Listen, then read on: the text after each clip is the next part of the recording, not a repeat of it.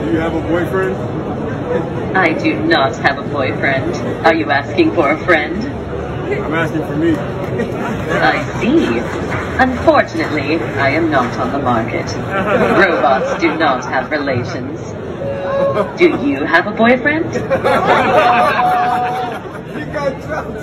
I'll take that as a yes.